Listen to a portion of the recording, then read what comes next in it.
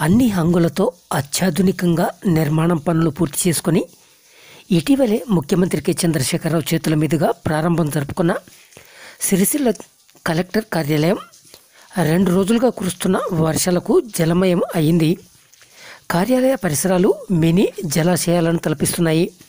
Collectorate నుండి భారీగా వర్షపు నీరు వెళ్తుండడంతో కార్యాలయానికి వచ్చేవారికి ఇబ్బందికరంగా పరిణమించింది.